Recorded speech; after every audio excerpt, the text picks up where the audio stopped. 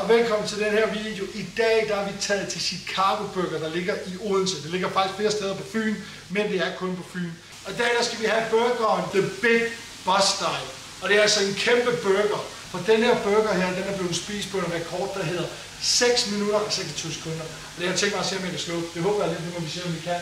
Men i hvert fald, så vi kommet herhen. Så jeg synes faktisk bare, at vi skal tage plads og sætte os ned.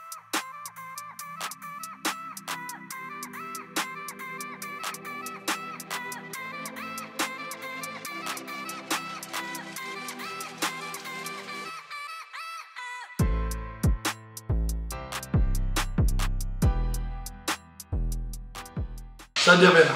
Nu har vi altså fået burgeren, og jeg kan love for, den er stor. Maria, hun skal gøre tiden klar om to sekunder, men det er fordi, grunden til, at jeg lige vælger at dele burgeren her, det er fordi, at der er pinde. Ja, den er meget varm. Fordi ellers, venner, hvis jeg ikke gør det sådan her, så ender jeg altså med at brænde mig. Den er vanvittigt varm, burgeren. Den er jo også sjovt nok lige blevet lavet, og det vil være lidt ærgerligt, hvis burgeren er altså så stor, at der er fire pinde til at holde den. I bøffer der er der altså 6 gange 200 grams bøffer i, så er der 12 gange bacon, der er 12 gange ost. Jeg er spændt på det her. Det falder ned på hurtigt, når der spist den. Og klar? Syg! Velkommen til endnu en video, venner. I dag der er det den her kæmpe, kæmpe burger. Og rekorden lyder som sagt på de 6 minutter og 26 sekunder. Og jeg synes faktisk, jeg kommer ekstremt godt fra start af. Jeg synes hurtigt, jeg er god til at få taget de to første bøffer. Det skal lige siges, de her bøffer, de er ikke bare tørre, det er tvebak. Det er nogle af de mest tørre bøffer, jeg har smagt i hele mit liv. Og kontra nogle af de andre challenge, jeg laver, når jeg er ude og spise de her vanvittige portioner, så er der noget, der gør det frødere. Noget, der giver det lidt frødere fredag vibe. Hvor det er lækkert, og man har lyst til at spise det. Det er ikke tilfældet her med burgeren. Og jeg tror faktisk, det er her omkring, det går op for mig, hvor jeg ved, jeg kommer ikke igennem den her på den samme tid som ham. Fordi det er de her bøffer simpelthen for drøje til. Om jeg kunne have nået det ellers, det tror jeg faktisk heller ikke, jeg kunne. Jeg men jeg Den kan være klar. Mm. Er. Det er markant ubehageligt at sidde og spise det her oksekød, fordi det der er med oksekød, det er, det er meget tørt, og hvis I forestiller jer, at I stegte en masse oksekød på panden, så bliver det lidt sådan noget gummiagtigt, og det er altså sådan, den her bøf, den føles. Med hotdoggen. Ja.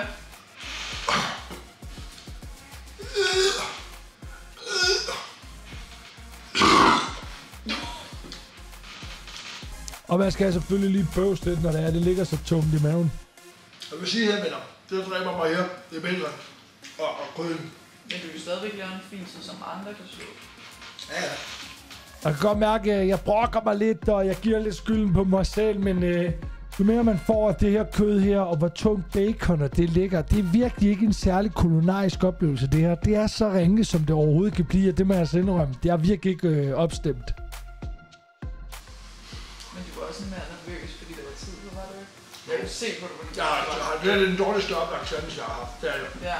Og det vil jeg sige, venner, her der jeg mig lidt mere godt nok. Jeg har lavet for meget i dag.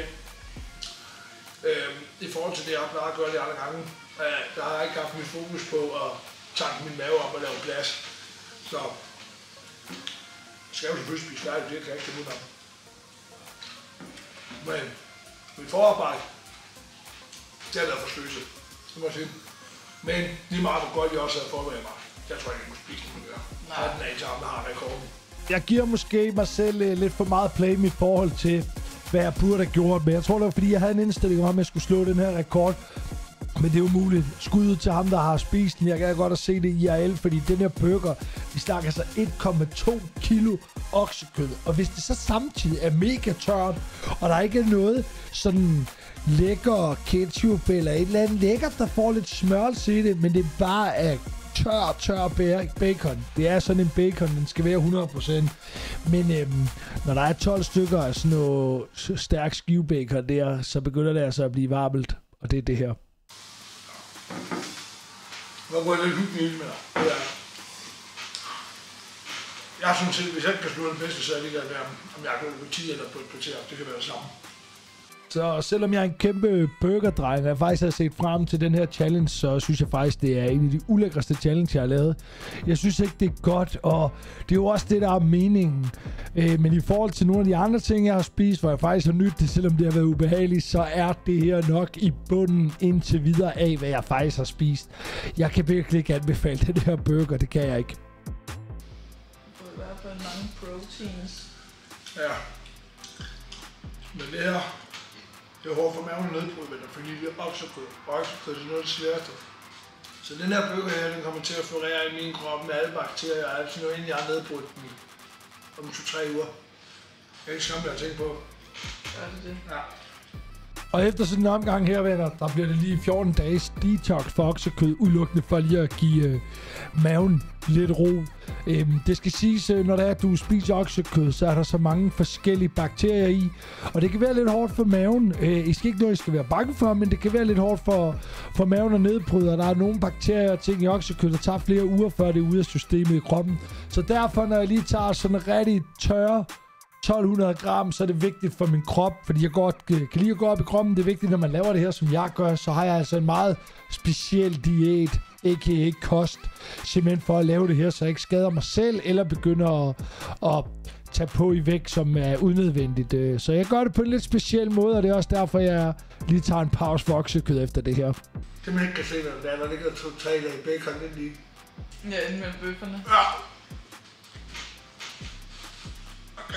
Det det her. Det er tur. Det, når, når det er, jeg har det nu sådan her, så ved jeg ikke, hvorfor jeg laver det her. Nej. Og så ved jeg, at er det det her værd, men det er det. Det er det, der er stove. Jeg videre lige nu. Og som man kan se, så tager det bare altså mange minutter at komme igennem de sidste to bøffer. Men det er også fordi, jeg er sådan lidt... Jeg ved, jeg ikke kan slå tiden, og jeg synes ikke, det smager særlig godt. Men kæmpe skud ud til Maria for at opmuntre og støtte så godt hun kan. Det er altid en fornøjelse. Så selvfølgelig skal det hernede, det er ikke med min gode vilje. Men øh, det skal tømmes, men nøj. Altså, når man ved, at oksekød er sejt, hvis du skal tykke i de to minutter. Deres burger derinde plejer at være fint nok. Den her burger, nej tak. Den vil jeg ikke spise igen. Jeg har aldrig set dig tykke så længe. Nej. Nu er det for sig gummiagtigt, sådan fedtet. mm.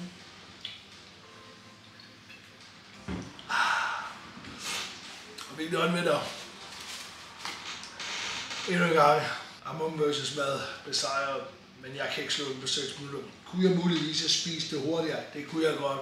Men altså sådan lidt, det her, det smagte ikke godt. Det var kedeligt, det var fyldt med oksekød, der var ikke noget.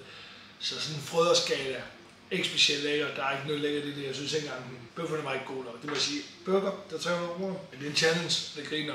Så ingen Wall of Fame, men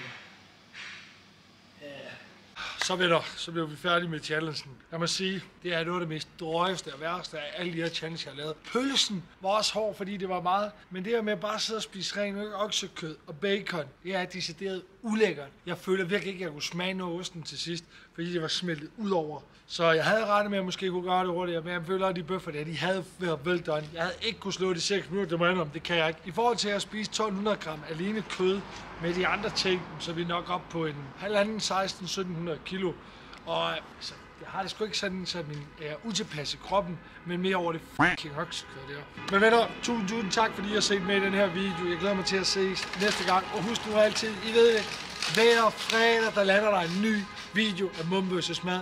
Endnu en gang, der har vi klaret vores mål, og endnu en gang har jeg slået madtjenesten. Vi ses i næste video.